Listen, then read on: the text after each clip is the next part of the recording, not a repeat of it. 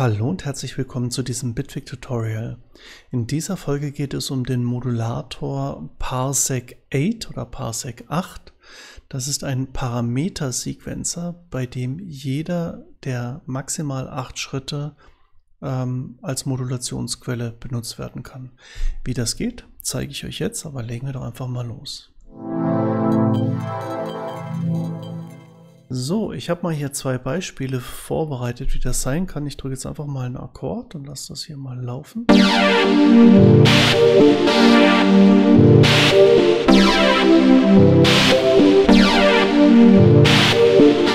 So, und das zweite Beispiel ist das hier.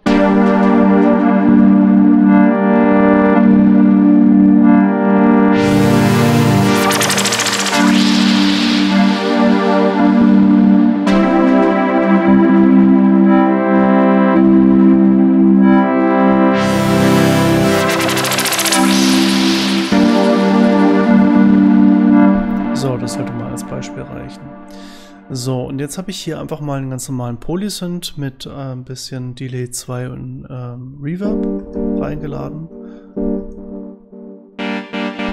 So klingt der. Und ähm, jetzt lade ich hier in die Modulationsleiste den Parsec, Parsec 8 oder 8 rein. So, der Parsec 8 präsentiert sich erstmal wie so ein, wie so ein Spielewürfel, allerdings mit 8 Punkten hier. Und mit den Punkten, die kann ich anklicken und kann dann sofort irgendwas modulieren, was ich möchte. So, wenn ich den hier jetzt aufklicke, dann kriege ich hier quasi die einzelnen Schritte der acht ähm, Sequenzmöglichkeiten oder der acht Schritte, kriege ich hier angezeigt. Und ähm, ja, was ich damit jetzt alles machen kann, das erkläre ich jetzt einfach mal so nacheinander, Schritt für Schritt. So, und zwar hier oben habe ich ja die Nummerierung, da kann ich draufklicken und dann kann ich quasi die Modulation und also die Ziele, die ich modulieren will, kann ich hier quasi deaktivieren. Das heißt, ähm, der Ton spielt weiterhin, macht aber bei dem Schritt, der macht nichts, der will nur spielen. so, und bei allen anderen Schritten eben auch, wenn die aus sind, dann werden die Modulationen nicht ausgeführt, die ich definiere. Dann habe ich hier drunter so ein kleines Symbol. Das ist standardmäßig an und ich kann das ausmachen. Dann ist das ähm, so bräunlich und ähm, wenn ich das hier so anlasse, ist das so grau. Also aus ist braun, an ist grau. Könnte man vielleicht lieber rot als ausnehmen oder so. Das ist ein bisschen deutlicher. Und ähm, das bedeutet einfach nur, wenn ich hier jetzt etwas definiere, zum Beispiel, ich gehe jetzt hier rüber und sage jetzt hier, der Filter soll mir ein Stückchen aufgehen. Und wenn ich das jetzt abspiele, und dann muss ich mal auf Node Restart und dann machen wir das ein bisschen langsamer, war eigentlich mein Ziel. So, und wenn ich jetzt eine Note drücke, dann fängt er von vorne an.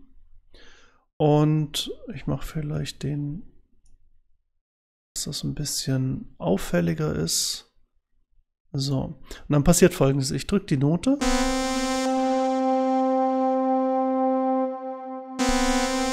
Ich sollte vielleicht eine Note drücken.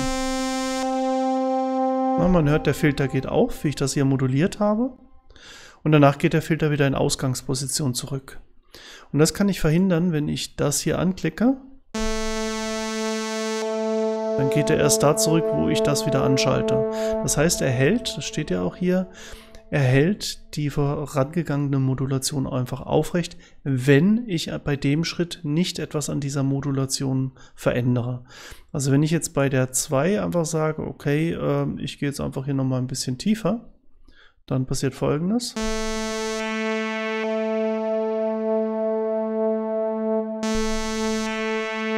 Dann führt er die zweite Modulation aus, die ich hier definiert habe. So, und das kann ich halt bei allen anderen auch machen. So, dann habe ich hier so einen ähm, Balken und das ist ein bipolarer Balken, den kann ich hoch und runter ziehen, plus 1 und minus 1 und kann dann eben meine Modulation hier einfach nochmal ein bisschen stärker, schwächer machen, wie auch immer, oder ich kann eben auch diesen Balken selbst modulieren mit einem LFO oder irgendwas anderem. So, darunter habe ich dann die Modulationspfeile, wo ich draufklicken kann, sagen kann, okay, was, ich, was will ich modulieren? Und das kann ich auch hier direkt machen. Ich muss nicht extra das, den ähm, Parsec aufmachen. Ich kann, wenn ich zum Beispiel weiß, hey, okay, bei Schritt 4 äh, möchte ich jetzt irgendwie zum Beispiel Noise reinnehmen. Und dann habe ich einfach bei Schritt 4 Noise. Hört man jetzt nicht so sonderlich gut, weil sollte vielleicht auch hier so. Das kann ich dann einfach so direkt machen.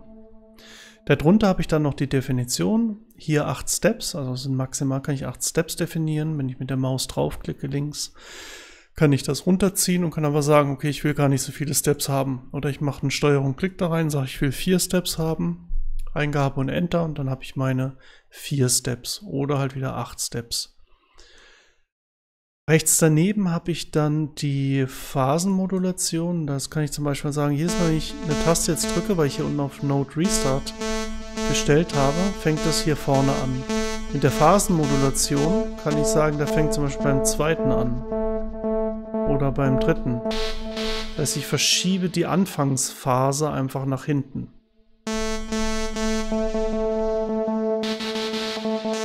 Ich kann einfach bestimmen, jedes Mal, wenn ich eine Taste drücke oder je nachdem, was ich da unten eingestellt habe, wenn das jetzt mit äh, Transport ist, fängt es immer am Takt anfangen damit an. Könnte ich zum Beispiel einfach sagen, okay, ich fange jetzt nicht bei der 1 an, sondern bei der 2, bei der 3, bei der 4 oder wie auch immer. So, nach der Phase gibt es hier einen Smooth-Parameter und der Smooth-Parameter macht so was ähnliches mit dem Signal wie der Glide bei einem normalen Ton. Ich den jetzt kurz hier deaktiviere. Das heißt, wenn ich von einem Ton auf den nächsten hier gehe, erklingt der erste und dann der zweite Ton. Wenn ich den Gleit hier hochschiebe, dann gleitet der von einem Ton zum nächsten hoch. Oder wieder runter. Und entsprechend macht auch diese Smooth diese, dieser Smooth-Parameter genau das. Das heißt, er versucht von den Modulationen von einem Schritt zum nächsten so einen weicheren Übergang zu schaffen. Das heißt, wenn ich jetzt hier das hier habe und auf dem zweiten habe ich zum Beispiel ein Noise und da gehe ich jetzt ein bisschen runter. So, dann habe ich einen relativ harten Übergang. Ich mache jetzt mal folgendes. Ich mache jetzt mal eine halbe Note, damit ähm, das alles ein bisschen langsamer läuft. So, das heißt, ich habe hier von dem auf dem, habe ich halt sofort mit umgeschalten. Jetzt mache ich den Smooth-Parameter hoch. Hat noch nicht gereicht. Da hört man, wie die so langsam rein gefadet werden. Vielleicht sieht man das auch hier schön, genau. So, wenn ich sie wieder runter mache, wird das so reingeknallt. Und da kann ich einfach so weichere Übergänge schaffen. Rechts daneben habe ich dann wie so ein Transportfeld da noch. Das heißt, standardmäßig ist dieser Pfeil nach rechts aktiviert. Das heißt, wenn ich jetzt zum Beispiel bei Node Restart eine Taste drücke, dann fängt er hier links an und läuft nach rechts rüber. Dann kann ich sagen, er soll Ping-Pong laufen. Das heißt, er fängt hier an. So, jetzt machen wir das Ganze wieder schneller, sonst müssen wir Ewigkeiten warten. Und macht dann ständig diese Hin- und Her-Bewegung. Die Hin- und Her-Bewegung macht er auch nur deshalb, weil ich hier den Loop-Parameter oder der, dass der, der ist standardmäßig angeklickt. Wenn ich den nicht angeklickt habe, macht er diese Bewegung einmal, diese Ping-Pong-Bewegung, wo ich, äh, weil ich diese Pfeil nach links, Pfeil nach rechts angeklickt habe. Wenn ich jetzt den Standard habe, nur nach rechts und habe den Loop nicht an, dann läuft er nur einmal nach rechts, wenn ich eine Taste gedrückt habe oder eine Note gespielt wird und das war's. Und natürlich kann ich das auch nach links machen. Dann fängt er halt, beziehungsweise von rechts nach links, auch mit dem Ping-Pong wieder. Und natürlich auch mit dem Loop wieder. So, standardmäßig ist nach von links nach rechts eingestellt mit Loop ohne Ping-Pong. So, und äh, ich habe natürlich schon hier unten wild rumgeklickt, aber das kennt ihr vielleicht auch schon von den anderen Modulatoren oder auch von den Operatoren. Ne, eher von den Modu Modulatoren. Und zwar hier Transport wird mit dem Play, äh, Stop und so weiter ausgeführt. Mit dem Groove, das ist bei der Wiedergabe das Groove-Menü. Wenn hier Groove aktiviert ist, dann reagiert es auch auf das Groove. Dann ähm, gibt es Note Restart, was ich die ganze Zeit ähm, benutzt habe. Wenn ich eine Note drücke, das Free Running, da läuft es halt einfach ohne, läuft halt irgendwann mal los und äh, ja, läuft halt dann auf seine eigene, mit seiner eigenen ähm, Abfolge, allerdings auch immer in der Geschwindigkeit der DAW. Also in dem Fall wären das jetzt 110 BPM. Dann Note Random, denn wenn ich eine Taste drücke, fängt er irgendwo an, in dieser Sequenz an zu spielen, jedes Mal eventuell eine andere. Und Note Advanced bedeutet einfach nur, ähm, wenn ich eine Note drücke, springt er quasi immer einen Schritt weiter. Immer bei der nächsten Note. Ist er gerade gesprungen, weil ich eine zweite Taste noch dazu gedrückt habe. So, und wenn ich hier Transport anklicke, dann kann ich hier noch eine Geschwindigkeit angeben und hier kann ich zum Beispiel noch sagen, ein Herz in Kilohertz pro Takt, also pro Bar oder halt irgendwas dazwischen. Hier unten auch noch äh, nach Pitch und ähm, Hold Rate of Zero zum Beispiel.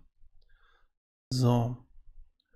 Und an der Stelle kann ich einfach noch sagen, wie viel dieser Modulator generell überhaupt modulieren soll.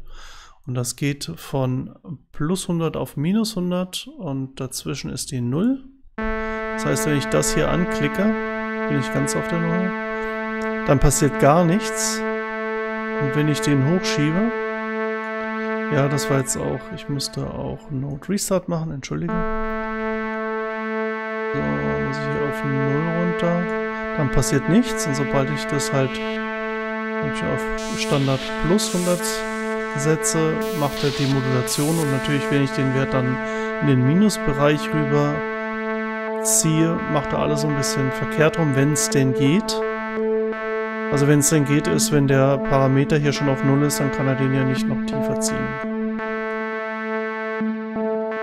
So, und jetzt kann man an, anfangen, alles hier wild miteinander zu modulieren. Da machen wir einfach mal ordentlich Unison Voices rein. Zack, und hier machen wir das an und noch ein bisschen Sub. Den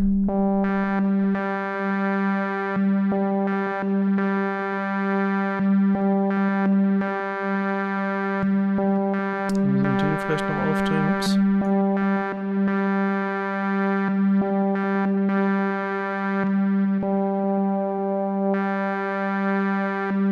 Achso, ich habe den jetzt hier ähm, auf Minus gedreht, da passiert nicht viel.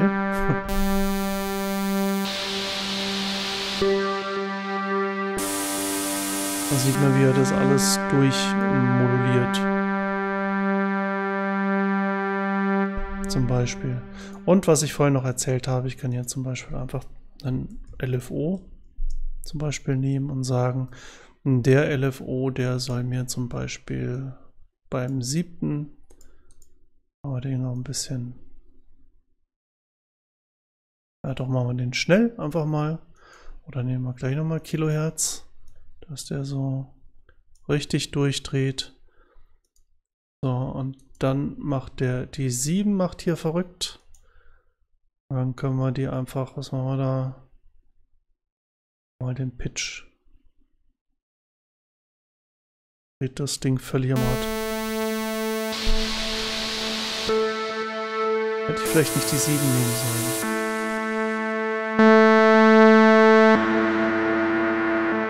Ja, man hört es nur so ein bisschen, weil er dann doch massiv zu schnell ist.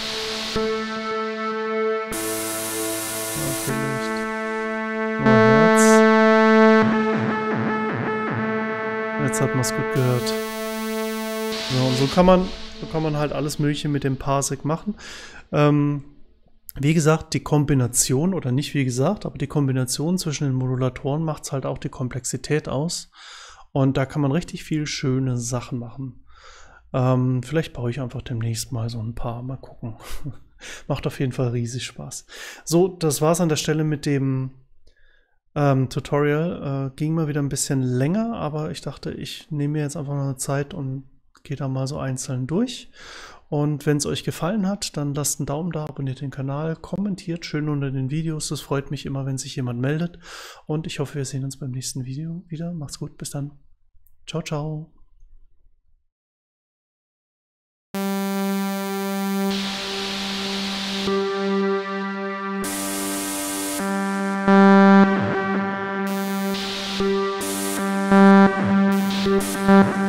Thank